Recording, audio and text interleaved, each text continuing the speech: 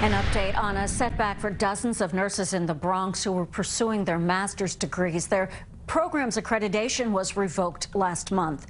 But today, good news and relief. CBS 2's Ali Bauman reports.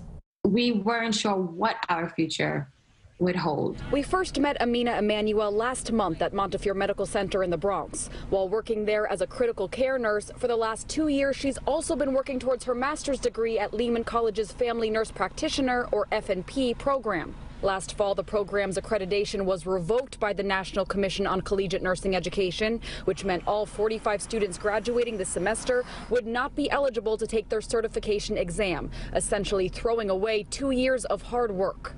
All we're asking for is the opportunity to test. But since our story aired, the National Commission has agreed to postpone its accreditation withdrawal, allowing students who graduate from the program by this February to sit for the exam. Just being able to have that opportunity is just a great feeling that dreams do actually come true sometimes. Emanuel says now she can continue studying for the test without worry.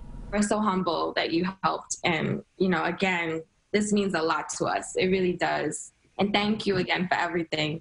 A Lehman College spokesperson tells us they're also working to help the spring graduates finish up their degrees in order to take the test before March. From the Bedford Park section of the Bronx, Ali Bauman, CBS 2 News.